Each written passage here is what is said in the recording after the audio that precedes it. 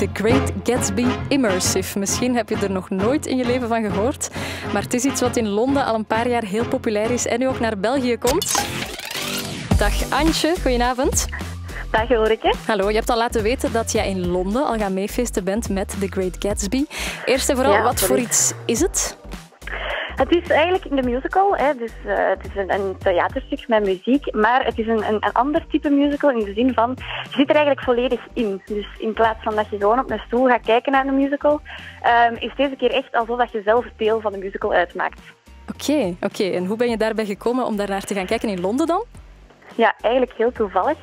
Ehm, ik was met een paar vriendinnen in Londen en eh wat is zoiets van, ja, nu dat we hier toch zijn, kunnen we misschien wel een keer naar een musical gaan kijken.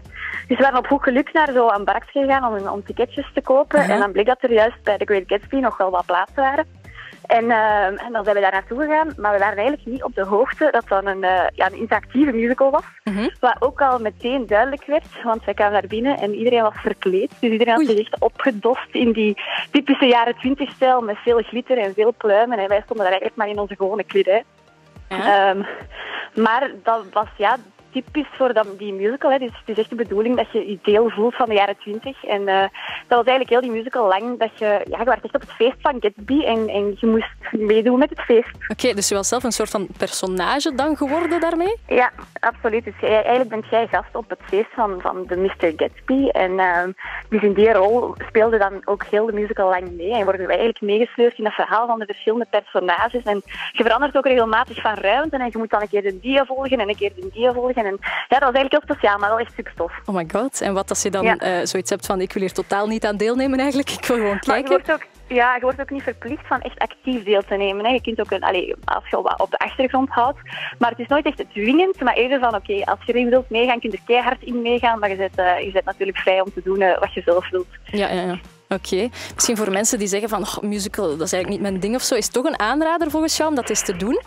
Ja, ik, absoluut. Want ik had er, waren ook twee vriendinnen bij die niet, niet stonden te springen om meteen naar de musical te gaan.